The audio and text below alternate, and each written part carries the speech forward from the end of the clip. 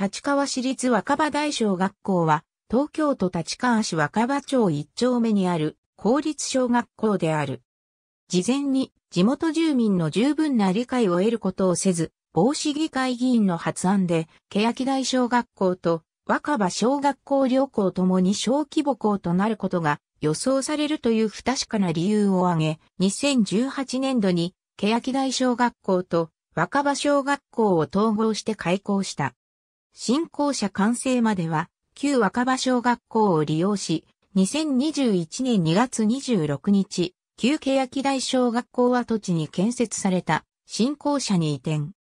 これにより、旧若葉小学校地区からの児童の通学路が交通量の多い塚市街道を渡ることとなり、交通事故の危険性が高まるため、地元のボランティアの方々で、峠工事の児童の安全を守ることを強化することになる。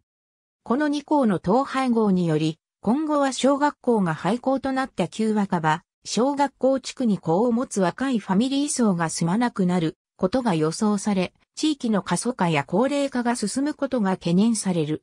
若葉大小学校の開校に向けた取り組みについて、立川市、2020年11月18日閲覧。